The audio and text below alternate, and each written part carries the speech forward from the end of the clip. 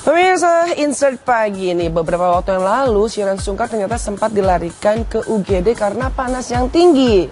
Uh, sang ibunda Fani Bauti ini sempat takut dan juga khawatir karena Shiran Sungkar ini tidur terus dibangunin terus nggak bisa bangun karena itu langsung dibawa ke rumah sakit. Namun saat ini katanya kondisinya Shiran juga sudah membaik dan pada saat itu sudah boleh langsung pulang. Ya sudah kita akan sama-sama mendengarkan cerita dari Fani Bauti mengenai Shiran Sungkar. Silakan tante.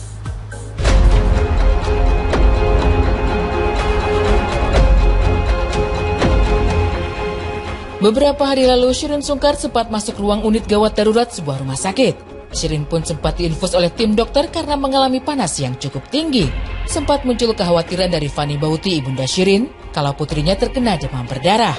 Namun setelah mendapat tindakan medis, dokter akhirnya menyatakan Shirin tidak mengalami sakit serius dan akhirnya diizinkan untuk pulang ke rumahnya. Uh, iya, sebenarnya sih cuman di UGD aja cuman lama juga ya karena diinfus segala macam. Atau juga diteleponin tante langsung datang ke sana. Uh, jadi tante itu sih kata dokter coba di apa pulang dulu karena kan baru semalam nih panasnya. Uh, kata kan takutnya dia kan rentan banget sama demam berdarah ya kan Nah kita takutnya apalagi musim hujan begini ya. Jadi eh, tante suruh dia udah tinggal di rumah sakit. Enggak ada nggak apa-apa kayaknya udah agak enakan mah, udah diinfus kan gitu. Terus dikasih vitamin apa gitu. Jadi pulanglah ke rumah gitu. Pulang rumah cuman kata dokter kalau misalnya eh, malam panas lagi kan dikasih obat eh, panasnya kali ya turun panasnya. Tapi pas sampai malam saya telepon-teleponin uh, udah mah kayaknya aku nggak panas lagi badannya jadinya ya udah nggak nggak perlu apa dirawat lah gitu Sebelum dimasukkan ke ruang UGD, Fani sendiri mendapat laporan jika putrinya sulit sekali untuk dibangunkan dari tidurnya. Ketika itu Shirin pun terlihat sangat lemah dan kondisi itu tidak seperti biasanya. Fani menduga perubahan fisik putrinya yang sangat drastis itu terjadi karena virus dan faktor kelelahan dia dari pagi tuh nggak bangun-bangun tidur aja katanya nggak kuat berdiri gitu. Nah baru itu juga pembantu juga ditelepon baru dia naik ke atas. Bisa juga nggak tahu. Wisnunya juga lagi apa kerja ya pergi. Nah, tiba-tiba pokoknya dia dari mulai habis obat subuh tuh dia inilah tepar gitulah hmm, badannya lemes gitu katanya. Kayaknya sih trombositnya turun gitu. Nah cuman kan kalau demam berdarah tuh bisa dilihatnya kan tiga hari ya. Nah baru semalam udah pulang dulu. Tapi kalau malamnya panas lagi harus balik lagi gitu. Cuman alhamdulillah sudah dikasih turun panas dia panas. Mungkin virus aja kali ya. Virus cuaca tuh jadinya dia drop gitu sama kecapean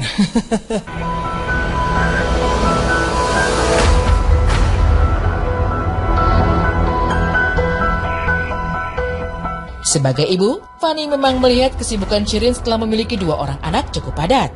Sebut saja, selain mengurus kedua anaknya serta bekerja di panggung hiburan, Shirin juga masih membantu pekerjaan Saskia Sungkar kakaknya. Selain kesibukan yang selalu mewarnai hari-hari Shirin, Fani juga melihat kalau putrinya adalah tipe anak yang tidak terlalu memperhatikan kondisi kesehatan fisiknya.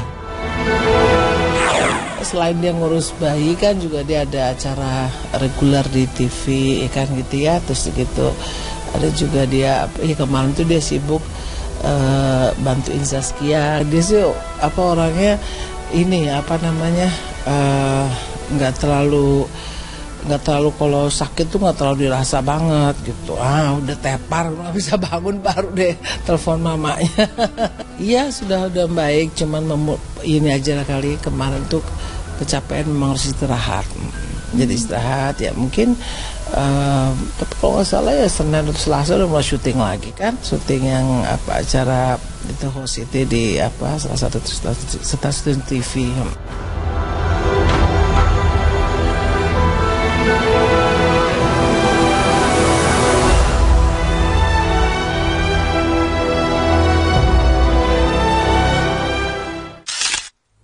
Kita doakan semoga Shiren cepat sembuh dan segera sehat ya. Baiklah, selanjutnya ini akan ada Giorgino Abraham atau dikenal dengan Juno. Nah ini adalah idola baru nih pemirsa. Eh, laki-laki yang berusia hampir 22 tahun karena ulang tahunnya tuh 30 November bulan depan nih ya, genap 22 tahun. Oke, kita akan melihat bagaimana sih perjalanan karir dari seorang Juno. Katanya nih, awalnya dia main sinetron gak dapat bayaran. Masa sih? Langsung saja Juno, silakan cerita.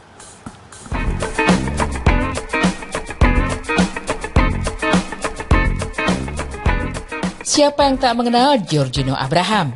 Namanya di dunia hiburan tanah air sudah mulai melambung sejak aktif membintangi beberapa judul sinetron. Namun siapa yang menyangka, bila sebelum terjun di dunia hiburan, cowok yang kerap disapa Juno ini mengaku bila ia justru memiliki keinginan menjadi seorang pemain bola sejak kecil. Lantas bagaimana cerita Juno hingga akhirnya bisa terjun ke dunia hiburan tanah air? Itu sebenarnya aku dulu nggak ada pikiran untuk masuk ke dunia entertainment ya karena aku dulu waktu masih kecil aku punya cita-cita untuk menjadi pemain sepak bola sebenarnya gitu. Aku udah tekunin banget sampai-sampai aku tapi emang dari kecil aku suka banget sama hiburan. Aku suka banget kalau lagi di sekolah ada acara-acara pentas acara drama acara apa e, kayak sekolah got talent apa. Aku selalu ikut aku selalu mau perform di depan teman-teman aku selalu pengen nunjukin mengekspresikan uh, apa yang aku bisa gitu. Itu aja sih gitu. Itu yang membuat aku kayak bangga banget gitu sama uh, diri aku gitu kayak. Nah sampai-sampai aku juga tapi nggak pernah kepikiran untuk mau coba di dunia entertain sendiri kayak bener-bener masuk film atau belum belum pernah kepikiran ke sana. Sampai aku waktu itu lagi tinggal di Australia aku udah empat tahun di sana aku liburan kembali gitu ke Jakarta. Terus ketemu sama papanya ini Randy Pangalila. Terus itu udah saudaranya papa aku gitu. Udah kayak keluarga banget gitu.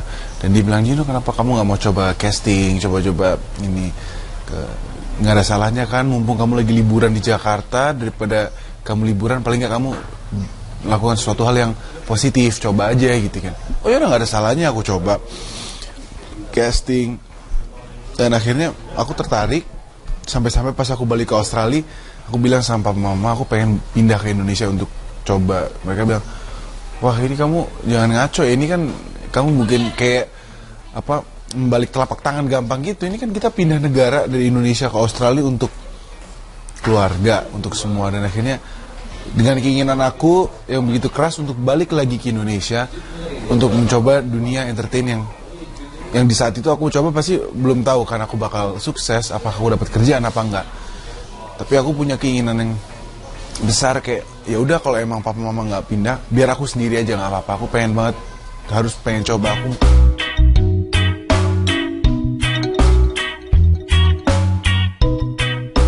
Dengan beberapa judul film dan sinetron stripping yang sudah berhasil dikantongi, ditambah memiliki wajah tampan yang mampu meluluhkan hati kaum hawa ini, Siapa yang menyangka bila Juno memiliki pengalaman kurang menyenangkan di mana dirinya sempat tak mendapat bayaran atas kerja kerasnya saat berakting. Sempat aku dulu sempat ber, bermasalah juga sama ada salah satu uh, bermasalah sih sampai aku nggak di, nggak dibayar juga pernah gitu sama salah satu manajemen juga sempat aku enggak lah sama sekali nggak uh, seperti yang ya jadi aku udah kerjanya nggak dibayar. Bukan karena aku minta honor tapi kayak wah, kejam juga ya. Masih ada ada seperti ini permainan-permainan seperti ini. Tapi ya uh, menurut aku tuh proses semua tuh proses.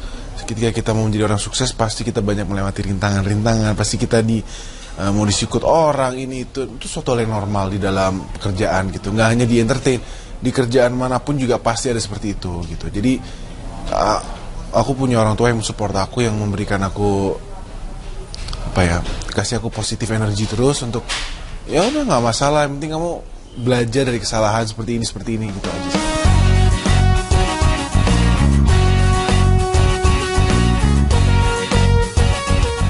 Terlepas dari pengalaman pahitnya kala itu, kini Juno tengah merasa bahagia mengingat sudah memiliki kekasih hati yang bernama Angela Panari.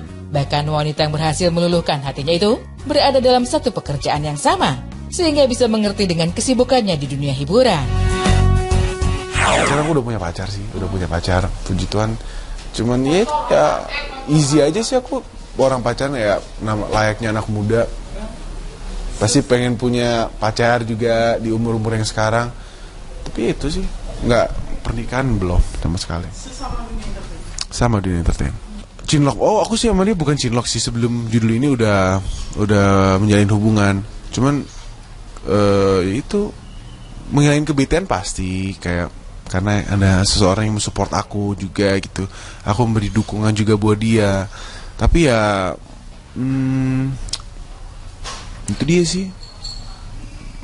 Pasti dengan adanya dia juga aku nggak lebih tenang lebih apa nyaman